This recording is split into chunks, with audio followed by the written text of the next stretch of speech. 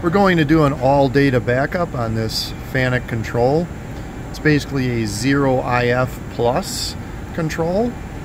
And one of the first things we want to do is set our communication. So we're going to be using this USB stick.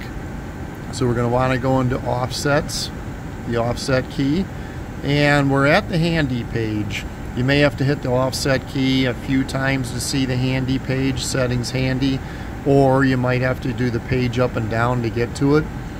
But this I.O. channel we want to set to a 17.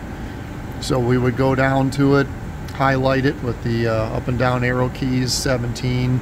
We'd want to be in uh, MDI mode to actually do it and set that.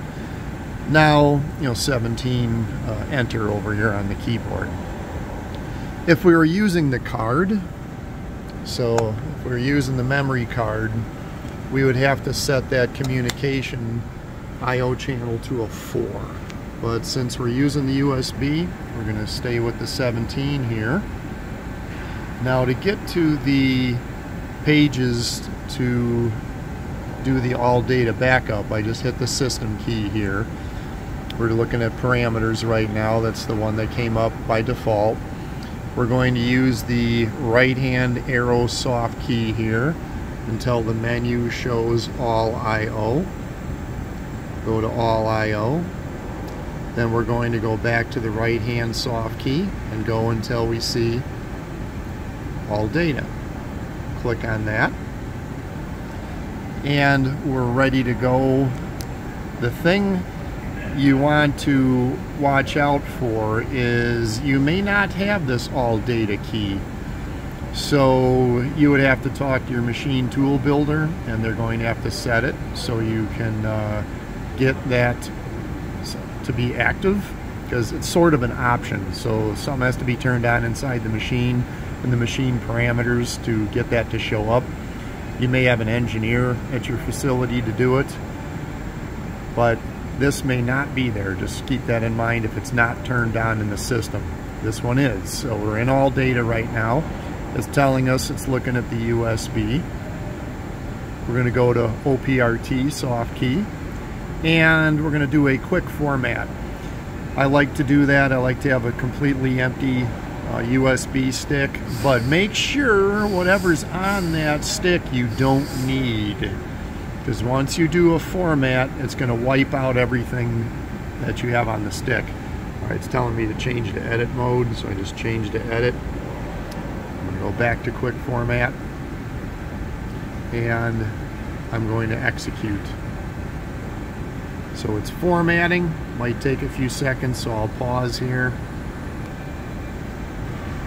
Our format is complete. So once that's done we're going to go into File Output, soft key here. And this operation needs power off. So once it does a backup, you're going to have to cycle power because when it wakes up again, it's going to back up the SRAM. And what it's telling you also here is, and the same name file is overwritten. So if you already have an SRAM on that USB stick, and you didn't do a format, the SRAM is on there, it will overwrite the SRAM file that is on this stick if you have one on there. So just keep that in mind. If you want the SRAM that's on here, you didn't do a format, keep that in mind because it will overwrite. So I hit execute and we're going to get a, uh, a bar here that's backing things up and once that bar is fully finished it's going to ask us to reboot the machine. So I'll pause it while we're waiting. All set. That part of the backup is done. That uh, bar filled up. So now it's telling us power must be off. So we have to cycle the power to save uh, the SRAM next. So on this machine I have to e-stop it now I'm going to go over here. I'm going to turn the control off. Good to wait a few seconds. Turn it back on. And when it comes back to life, we'll see the uh, SRAM is going to be backing up. So I'll pause it here.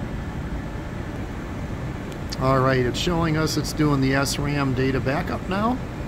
So it's going to work on that for a little while and then uh, the control will boot up as usual. So we'll pause it while we're waiting.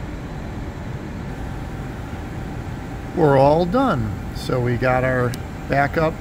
Nice thing about the all data again is you have everything out of this control that you would ever need.